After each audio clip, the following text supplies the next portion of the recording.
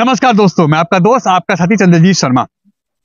हमने आपको खबर दिखाई थी, शहादरा स्थित बाबरपुर रोड पे, जहाँ पे चारू गुप्ता नाम की एक महिला, जिसके ऊपर सैकड़ों महिलाओं ने आरोप लगाए हैं कि करीब 500 करोड़ का घपला किया है उन्होंने।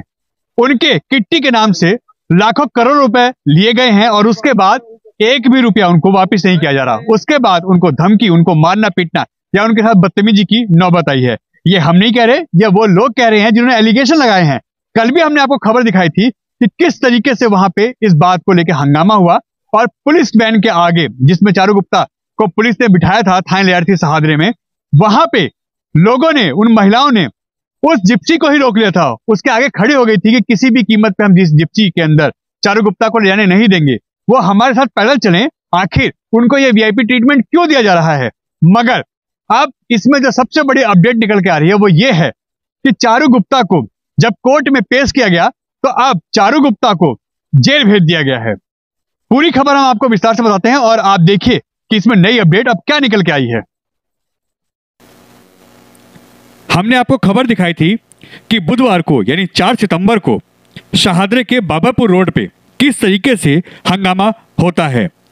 इसमें सैकड़ों की संख्याओं में महिला पहुँचती हैं और चारू गुप्ता के खिलाफ जमकर प्रोटेस्ट होता है।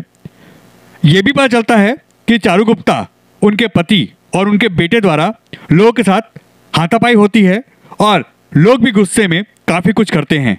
मगर इसके बाद पुलिस, जो कि शहादा थाने के अंतर्गत आता है ये केस, यहाँ पे पहुँचती है। चारू गुप्ता को अपने साथ शहादा थाने लेके जाती है, मगर यहाँ पे महिलाएँ एक साथ इकट्ठी होके इस गाड़ी को, इस पीसर वैन को रोक लेती हैं, जिसमें किसी भी कीमत पे उसको आगे बढ़ने के लिए वो उसके आगे खड़ी हो जाती हैं। इन महिलाओं के हौसले के आगे पुलिस भी शांत हो जाती है। काफ़ी देर की मन मशक्क़त के द्वारा पुलिस से यहाँ पे काफ़ी गर्मा गर्मी के द्वारा उसके बाद जाके कहीं सोल्यूशन निकलता है कि हम इनको थाने लेके चल रहे हैं, आप लोग आइए। मगर ये महिलाएँ थी, लगातार पुलिस से भिड़ रही थी। कह रही थी कि ये किसी भी कीमत पे गाड़ी के अंदर नहीं जाएँगी, हमारे साथ इसी रोड पे चलेंगी। आखिर जो इस तरह के काम करता है, उसका जुलूस क्या ना निकाला जाए? रोड पे उसको क्यों ना दिखाया जाए ताकि लोगों को पता चले ये किस तरीके के काम करती हैं। इसी कड़ी में काफ़ी यहाँ गर्मा गर्मी हुई, मगर पुलिस ने इनको काफ़ी समझाने के बाद इस बात पे राज़ी किया कि हम थाने लेके चल रहे हैं और आप हमारे साथ शहादा थाने आइए। इसके बाद ये सभी महिलाएँ राज़ी होती हैं और सभी शहादा थाने पहुँचती हैं। पूरे दिन, पूरी रात शहादरे थाने के बाहर ऐसे ही हंगामा चलता है। सैकड़ों की संख्याओं में महिलाएँ रात तक अपने परिवार के साथ वहीं रुकी रही। उनका साफ़ कहना था, इस पे हम किसी भी कीमत पे शांत नहीं बैठेंगे। या तो कार्रवाई होगी या फिर हम यहीं पे हंगामा करते रहेंगे। मगर हम सहादरा पुलिस की भी तारीफ़ करते हैं कि उन्होंने भी किसी तरीके से कोई कोताही नहीं बरती। महिलाओं की हर कंप्लेंट को उन्हें सीरियस लिया और हर कंप्लेंट को उन्होंने रजिस्टर्ड किया।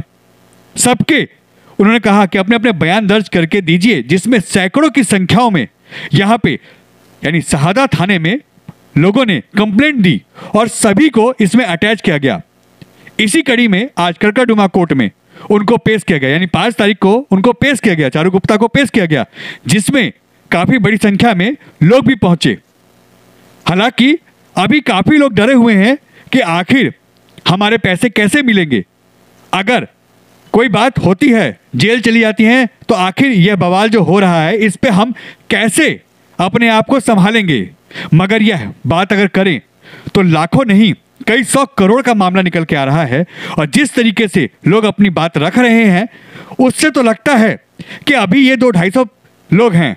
यह तो हज़ारों की संख्या में हैं और अगर इसकी सही से जाँच हो, सभी लोग निकल के सामने आए, कंप्लेंट दें तो यह कई सौ करोड़ का मामला है। खैर करकाडुमा कोर्ट ने आज चारू गुप्ता को दो दिन के लिए हिरासत में भेज दिया है। आप देखिए, ये वही चारू गुप्ता हैं, जिन्होंने लाखों करोड़ों इधर से उधर किए हैं और लोगों के पैसे देने में अब आनाकानी कर रही हैं। इसी कारण यहाँ पे काफ़ी हंगामा होता है और इनके खिलाफ इतनी बड़ी संख्या में महिलाएँ यहाँ एकत्रित होती हैं। मगर आखिर इनके पैसे क्यों नहीं दिए जा रहे? क्यों इनको महीनों से कई कई महीनों तक चक्कर कटवाए जा रहे हैं? ऐसी भी सूत्रों के हवाले से खबर मिली है कि कई लोगों ने आत्महत्या करने की कोशिश की है। कई लोग बहुत परेशान हुए हैं। कई लोगों ने इनके ऑफ़िस में आके हंगामा भी किया है।